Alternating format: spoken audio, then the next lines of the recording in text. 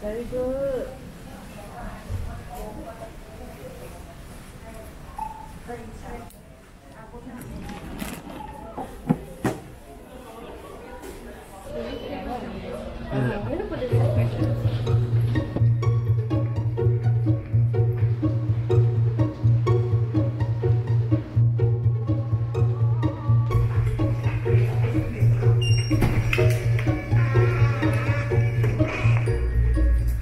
There will always be about 13 to 15 potters on one shift.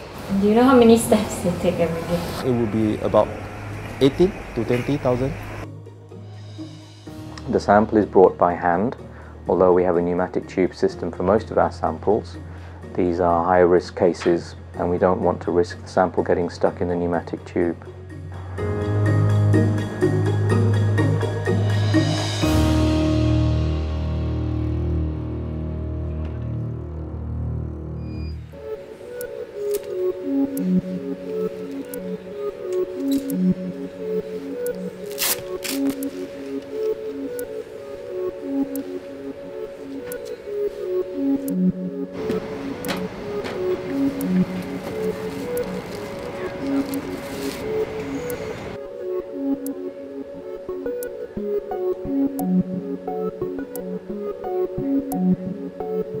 Not just about the contamination and the PCR, it's about the basic elements of laboratory practice, which is making sure you've got the right patient and the right sample.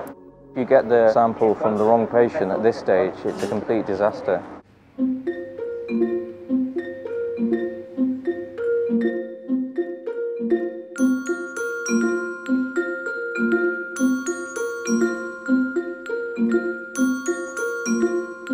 These fast 10 minute test kits detect antibodies to the virus and they take time like 10 14 days to appear in anybody's blood.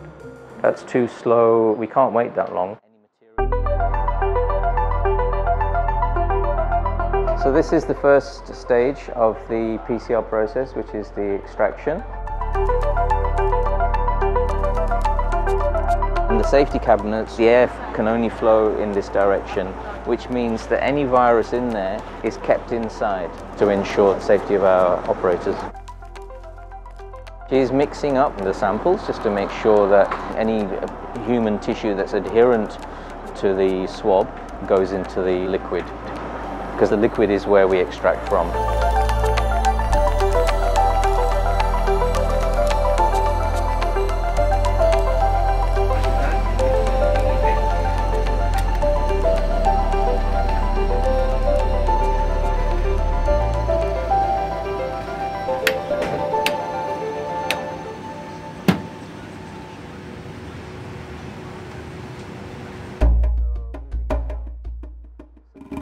This is the room where we prepare the master mix. It's in a completely separate room.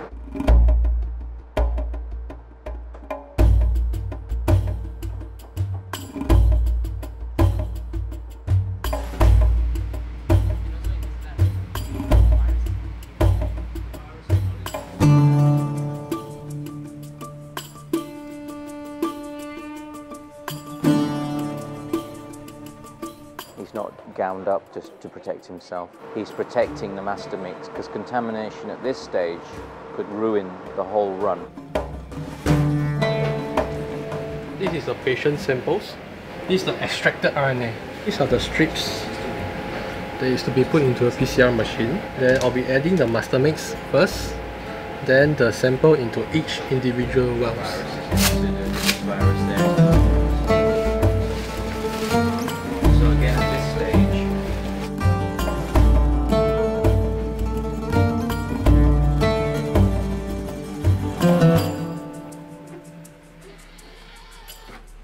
Reaction depends on heat. The samples are heated up as the temperature comes down, and that's the cycling process.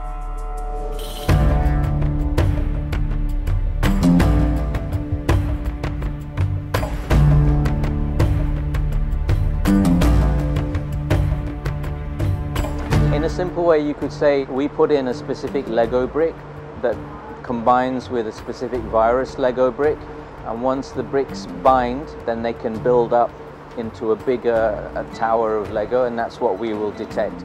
Once the result is out, they will stamp or write the results here. For detected, we will write de detected DET. Now to do one test will take only three hours. But when we're testing two, three, four hundred samples, they don't all come at the same time. We have to factor in the fact that the sample needs to be taken from the patient, brought to the laboratory, and that itself can be a delay of one to two hours.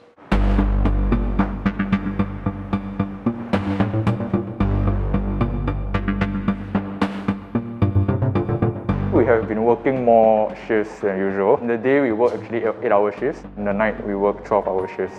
The worst is at 4 a.m. when we're already like very zoned out, but we still have to concentrate very hard. It'll be quite tiring like, because we really really cannot afford to make any mistakes.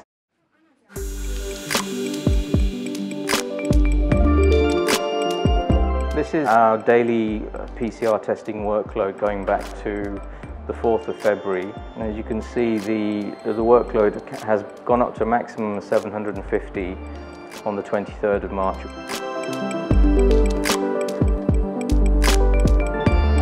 When we have the staff, then we have to get more equipment. And when we get more equipment, we mean more staff. And each member of staff takes two weeks to train. So it's like Spider-Man crawling up the wall, except very slowly.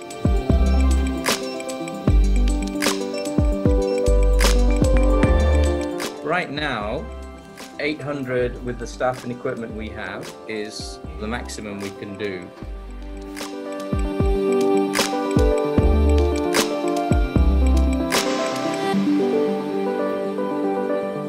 My colleagues and I, we believe that this war is not just fought in the hospitals alone. We hope to flatten the curve. So it's really important for everyone to stay home and help us.